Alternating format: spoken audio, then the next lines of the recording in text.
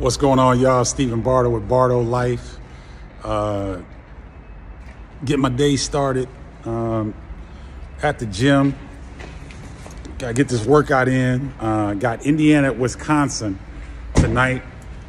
So, you know, love to start my days off uh, getting the workout in if I can. Sometimes I can't because of uh, the work schedule, but like to get it in when I can. So let's get it. Bardo Life coming back to you. Just got off the treadmill, getting it in. Had to show all the Illini folks what time it is because they question my loyalty. See what that says, right? All day. Holla. Workout done. Now I'm gonna head up to Madison, Wisconsin, about 140 miles away. So gonna jump in the car, got my suit and everything ready to go. Bardo Life, y'all, get some.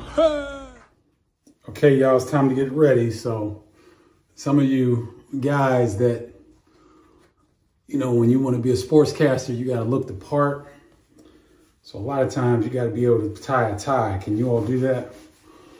But tonight, during the game, I want you guys, there are two really outstanding players, two of the better players in the Big Ten Conference, and that would be Trayce Jackson Davis of Indiana. I believe he was second team All American, second or third team All American and Johnny Davis, who is emerging as uh, one one of the uh, best players in the conference. So you're gonna there's a matchup of two nice players going. They won't match up because Trayce Jackson Davis is a post.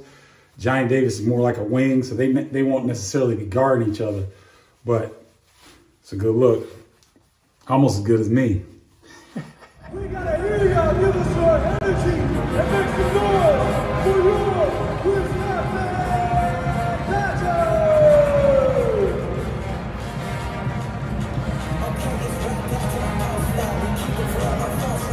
Y'all. We're getting ready for the game. You can see a crowd back here.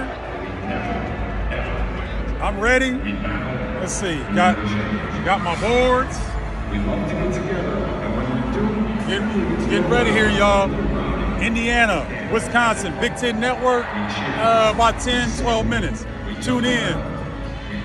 Man, crazy finish. If anybody saw that Indiana Wisconsin game, Wisconsin down 22, I believe, at halftime, comes back, holds Indiana to 17 points in the second half and wins, extending the 20 games in a row. I believe it's 19 or 20 games in a row that Wisconsin has won over Indiana. Indiana has not won here since Bob Knight was coaching Indiana. That's how long ago it's been. Uh, that'll do it for Bardo Life today, y'all. If you think you're cut out for this, if you think you can be a sportscaster, hit me up. 312-847-2739 let me know. I'm going to do this bardo life throughout the season to give you guys some behind the scenes look at what i do day to day. Uh, great game. I love my job. I got two hours ahead of me.